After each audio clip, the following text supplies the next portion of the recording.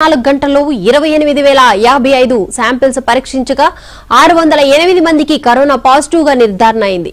అత్యధికంగా హైదరాబాద్లో మూడు వందల ఇరవై తొమ్మిది కొత్త కేసులు నమోదు కాగా రంగారెడ్డి జిల్లాలో అరవై ఏడు మేడ్చల్ మల్కాజ్గిరి జిల్లాలో యాభై నాలుగు సంగారెడ్డి జిల్లాలో పదహారు కేసులు వెల్లడయ్యాయి అదే సమయంలో నాలుగు వందల యాభై తొమ్మిది మంది కరోనా నుంచి కోలుకున్నారు.